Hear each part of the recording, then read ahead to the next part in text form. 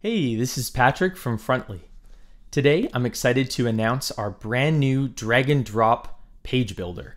So, we've added the feature that everybody's been wanting for a long time, which is the ability to visually drag items around within your page. And I'm just going to jump right into the demo so you can see what I'm talking about. So, if you look at my page, I'm going to start by just adding a row. This is just a horizontal container that I can put any other items in. Now, with the new page builder, drag and drop, I can just click on, let's say, a button, and when I start to drag, I have a few different options. If I hover over the background of the page, you can see that the outside becomes a dashed border, and that shows me that I can drop this right into the background and it would be just like if I added it to the page. So if I do that, it'll just go somewhere on the page. Um, but if instead, let me delete that block. If I want to put it somewhere specifically, I can do that. So when I hover over another block while I'm dragging, I'll see this blue bar appear to show me where it's going to appear on the page relative to the other items. So in this case, the bar at the top tells me it's going to be positioned above that item in the in the block hierarchy. And if I go down to the bottom bar here, you can see it's going to go below. Now, if I want it to go inside this row, then I have to place it in the middle, and that's what this indicator means. So I'll do that, and now you can see my button is inside this row. So just to make it a little more visually obvious, I'm going to add a background, and I'm going to add some padding to this row. Now we just have a little more space to show off this feature.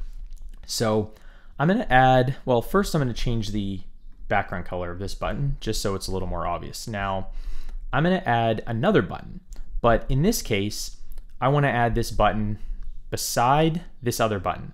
So you can see just like the container over here, we have this blue indicator that's showing me where I'm dropping it. If I want to put it to the left side of this button, I can just drop it right there.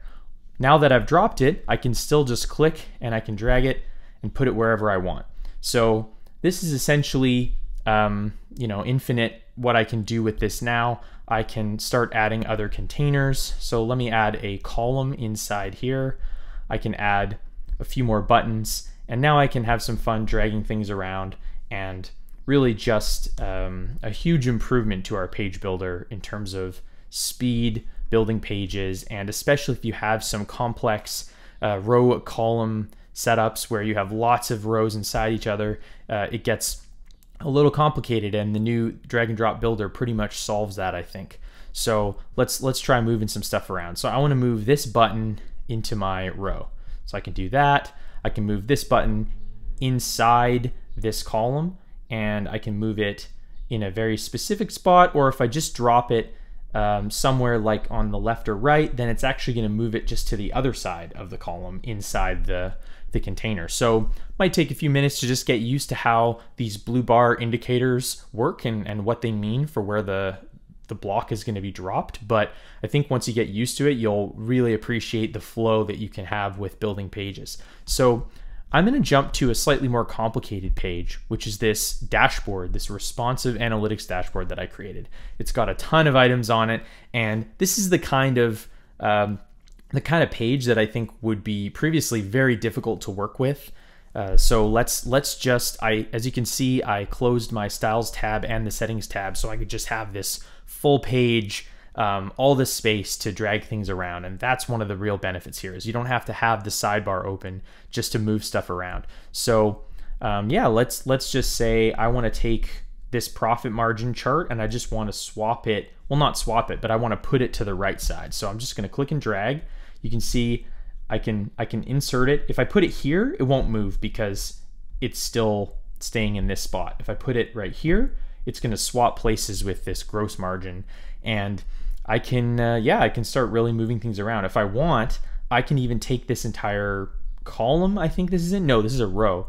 So I can take this entire row and drag it and put it somewhere over here. Maybe I want to put it um, between these two. And obviously there are repercussions of where you drag and drop things, but uh, it's pretty pretty quick now to just move things around. So you can really start to build these more elaborate layouts and hopefully with ease.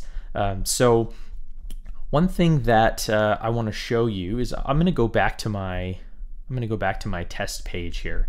So I'm going to open the page settings and I'm going to click, oh, I'm going to open the styles as well. So there's a new setting here that is kind of helpful uh, while you're in the builder mode. It won't change anything in the live app, so you don't have to worry about that.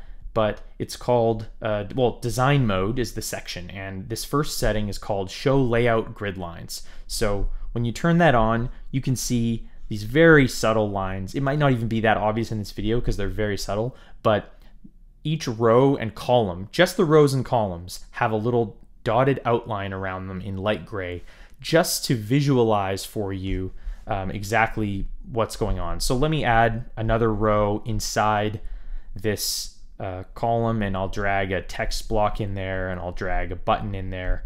Um, so when I deselect it and I put my grid lines on, there you go. So I've got I've got my column and my row, and it makes it a little more uh, obvious what's going on. And there's also a new setting called Add Visible Padding, which all it does, again, only for the admin mode, is it just automatically forces there to be, I think it's a 10 pixel, maybe 15, uh, 10 pixel padding around the outsides of the rows and columns. So again, it just helps you see the separation because in this case, without that, um, it's harder to tell exactly where the row starts and where the column begins and, and, and whatnot. So you can turn those on. Just one more tool in your uh, tool belt for building apps quickly and easily with Frontly.